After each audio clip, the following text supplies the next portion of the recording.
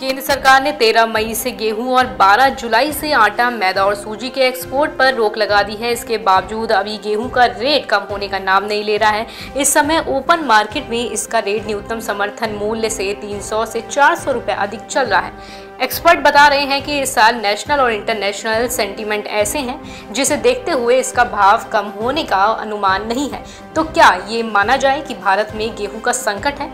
इस वर्ष दो कारणों से गेहूँ चर्चा में है। दुनिया के दो प्रमुख गेहूँ उत्पादक देशों, रूस और यूक्रेन को युद्ध में उलझने की वजह से विश्व स्तर पर इसके, इसे लेकर संकट खड़ा हुआ है, क्योंकि गेहूँ के व्यापार में इन दोनों की हिस्सेदारी करीब 25 प्रतिशत है। ऐसे में भारत को एक्सपोर्ट करने का अच्छा अवसर मिला। रिकॉर्ड एक्सपोर्ट के बीच हीट वेव की वजह से उत्पादन अनुमान के मुताबिक नहीं हुआ। इसलिए दोनों घटनाओं को मिलाकर एक ऐसा माहौल बना जिसमें गेहूँ की वैल्यू काफ़ी बढ़ गई।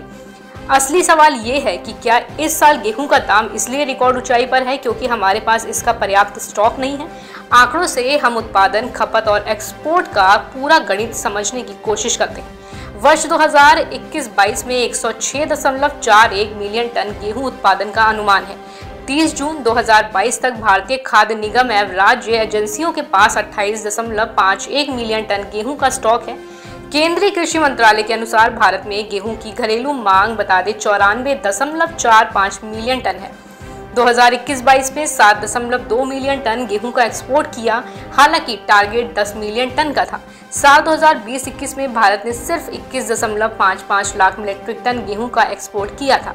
मतलब साफ़ है कि गेहूँ की कोई किल्लत नहीं है। बस वो बड़े ट्रेडर और एक्सपोर्टर माहौल बनाए हुए हैं, जिन्होंने एक्सपोर्ट के लिए किसानों से गेहूँ की खरीद की थी और अचानक सरकार ने निर्यात पर प्रतिबंध लगा दिया। हालाँकि ये अच्छी बात है कि किसानों को ओपन मार्केट में एमएसपी से अच्छा दाम मिल रहा है। वैसे ज़्यादातर किसानों ने पहले ही व्यापारियों को गेहूँ बेच दिया था। इस समय गेहूँ का न्यूनतम समर्थन मूल्य दो हज़ार प्रति क्विंटल है, जबकि एबिडा के अनुसार इस साल किसानों को एमएसपी से एक प्रति क्विंटल अधिक दाम मिला। इन आंकड़ों की ही वजह से केंद्रीय कृषि मंत्री नरेंद्र सिंह तोमर ने दावा किया कि देश में गेहूँ का संकट नहीं है। उनका कहना है कि भारत अपनी घरेलू ज़रूरत से ज़्यादा गेहूँ का उत्पादन करता है।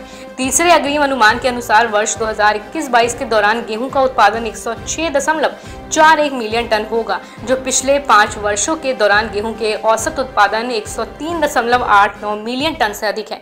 देश की खाद्य सुरक्षा का प्रबंध करने और पड़ोसी एवं कमज़ोर देशों की जरूरतों में सहायता करने के लिए केंद्र सरकार ने गेहूँ की निर्यात नीति को मुक्त से निषिद्ध में संशोधित किया। हालाँकि अन्य देशों को उनकी खाद्य सुरक्षा जरूरतों को पूरा करने के लिए और उनकी सरकारों के अनुरोध पर भारत सरकार द्वारा दी गई अनुमति के आधार पर भी निर्यात की अनुमति दी जाएगी। Bureau report, market times TV.